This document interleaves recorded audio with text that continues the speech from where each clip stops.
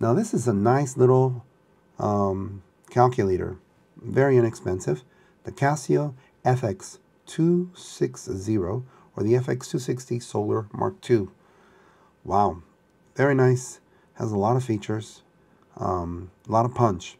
So let's say I want to do half plus 3 over 4. So 1 ABC2 plus 3 ABC4. And then we press equals. 1 and 1 fourth, it's a mixed number. Let's say I want the um, improper fraction. Shift, ABC button, automatically changes it. Okay. Let's say I want to reduce 50 over 150.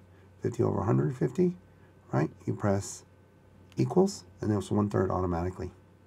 Let's say I want to change the one third into um, decimals, right?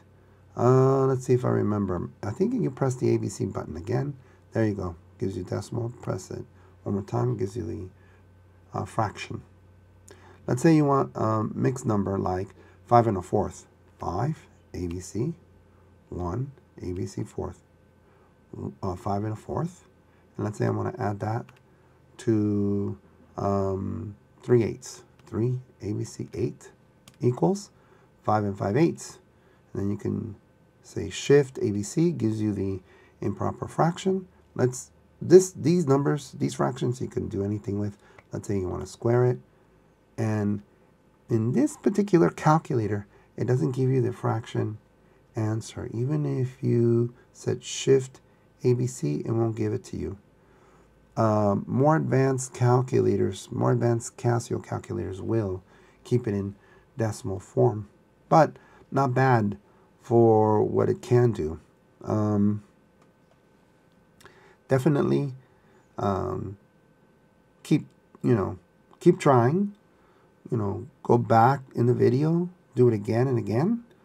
Um, maybe write it out step by step. Yeah, um, not getting it the first time is fine. There's a lot of muscle memory, a lot of steps. They, it's you're basically programming the calculator. All right.